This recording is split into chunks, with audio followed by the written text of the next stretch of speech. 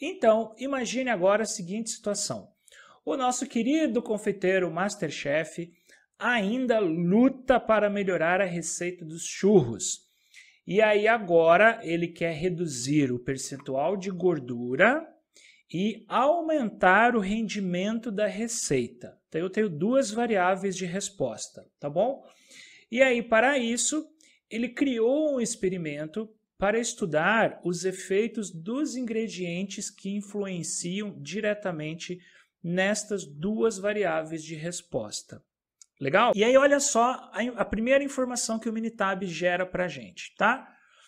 Ele vai gerar esses dois gráficos aqui, que são os gráficos dos efeitos, tá bom? Que vão nos mostrar quais são os possíveis efeitos que acontecem dentro da nossa experimentação. Legal? Essa é a primeira informação que a gente vai ter aqui. E aí, com isso, né, o que, que a gente pode, pode analisar? Vamos lá. Nesse primeiro gráfico aqui, ele me dá aqui ó, a linha de significância e aqui ele me dá esse gráfico normal dos efeitos, tá bom?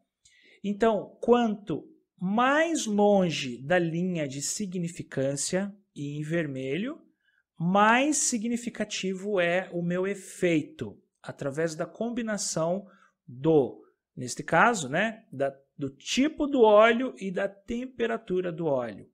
Ou seja, eles são dois fatores que combinados entre eles, então é como se você estivesse fazendo uma fórmula química, certo? Você joga dois ingredientes num tubo de ensaio, pá, e ele resulta em uma explosão, resulta em alguma coisa. Aqui é quase a mesma coisa.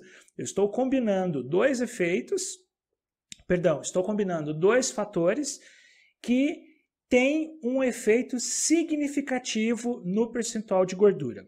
Ou seja, cada vez que eu escolho entre o tipo de óleo e a temperatura do óleo, eu tenho influências entre eles e tenho influências severas no percentual de gordura.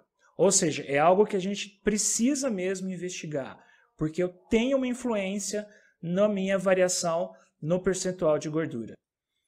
Então, então é algo que eu preciso tomar cuidado. Esses dois efeitos, eles são os mais significativos aqui no nosso estudo, por este primeiro gráfico, tá bom? Este gráfico aqui, ó, que ele vai me dar a interação entre os fatores, certo?